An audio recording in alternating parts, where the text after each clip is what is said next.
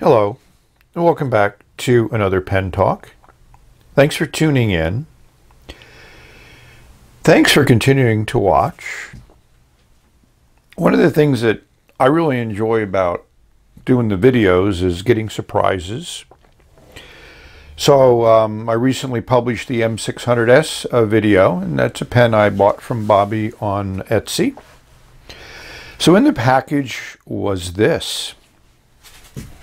And it's a very simplistic cloth pen sleeve with a nice closure here, a little bit of a of a leather-like cord. You take it off and it, it opens up like any other type of sleeve. Push the pen out and we'll see the pen.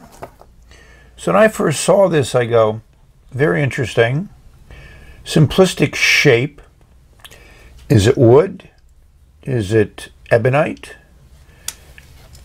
It took me a while to really decide. And I'm still in a little bit of indecision. But the more I look at it, the more I appreciate kind of like the really subtle design elements of this pen. It could be a one-off handmade uh, that Bobby commissioned but it just has what appears to be a nice wood grain pattern. And those lines are just really nice, classy. You know, reminiscent of some of the stuff that, that was popular on vintage. You know, and same material here in, in the barrel. The cap unscrews. Nah, it's a good almost three turns, and we'll see a very generic number five size nib.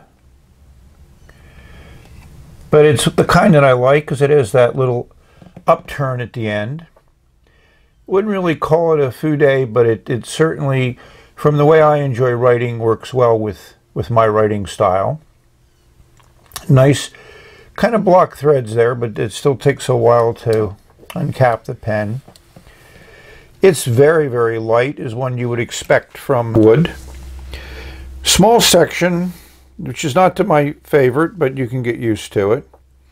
The pen feels really good. That surface just is unique, which again is, is a property that, you know, ebonite, hard rubber has, and also wood.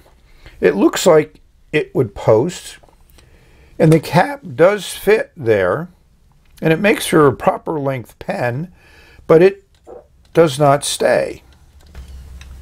The cap just slides off. I mean, there's no way to actually post it in the way that the uh, cap is machined on the inside. So, you know, you could use it as a spinner, if that was your liking. And as you unscrew the section, you'll find just your standard converter, you know, little spring, coil spring agitator in there. You know, the, the nib doesn't pull out easily, so I'm just going to leave it alone. I did put a little bit of my orange furniture oil on all of the threads, and that just really makes them just glide. They weren't bad, but now they're very, very good. We need to explore the pen a little bit more, so let's go to a different lighting. And let's look inside the cap. So hopefully we can show you what I see. You know, it has that look like you think it's wood. And there has been some discussion about imitation wood, which to me just doesn't make any sense. But, you know, some people might go through that for a certain look. And as we play the LED light on here, you'll get a little bit of a, of a, a different appreciation of, of this very interesting material and classic design. And Bobby must have been reading my mind because I've been talking about nice classic brown pens. So he sent me one and I'm very happy about that. So let's put some ink in here and see if that bent nib performs as I expect. Well, this is after I've done my research, and this is listed by Office Supply Pen, Bobby's site on eBay, as a B5 wooden pen. So um, since this was done after I recorded the video, um, I'm going to insert this into the appropriate space so I can apologize for not knowing what it was made of and not doing my research ahead of time. So I have it being held up by this Buddha to indicate the fact that, um, it, I'm sorry, but enjoy the video as it was filmed. You also notice that these are pictures from the listing on eBay and they're great pictures. They really bring out the detail, the nice coloring, and those nice lines in the cap. So what ink to put in it? I've been kind of trying to use up some of my, I don't know, I never count them, but a lot of bottles of ink. So this is one that I got a while ago. I invested in a number of KWZ inks. I did a review on Iron Galder for a while. So I read that date. It's 2016. So this ink has been around for a while. They do very good bottles. You know, I think it's just a nice ink. They've, uh, I think, expanded quite a bit since I first bought them, but maybe next time I'm at a show, I'll pick up a few more.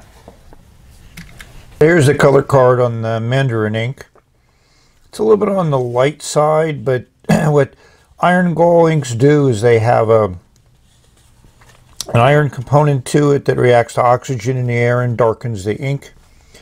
So it goes down actually a lot lighter than you see on the card.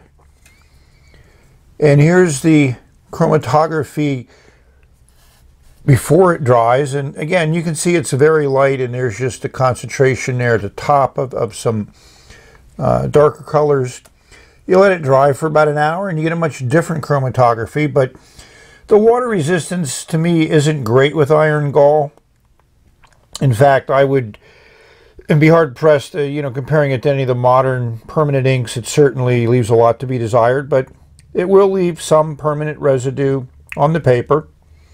And you can see the colors a little bit more intensely in this dried version.